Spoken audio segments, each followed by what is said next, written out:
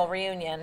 A couple in Washington going above and beyond for nearly two months to find their lost dog.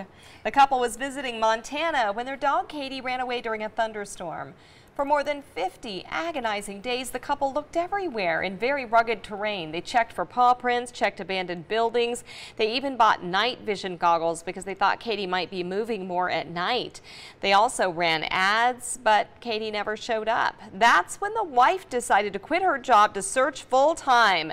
And it paid off thanks to a tip and I look and Katie comes out of the trees. After we found her, it was tears, it was um, everybody high-fiving, it was just, just sure joy. Uh, we're glad to show you this happy reunion. The couple says they just never gave up hope. Yeah, you never know, right? Yeah.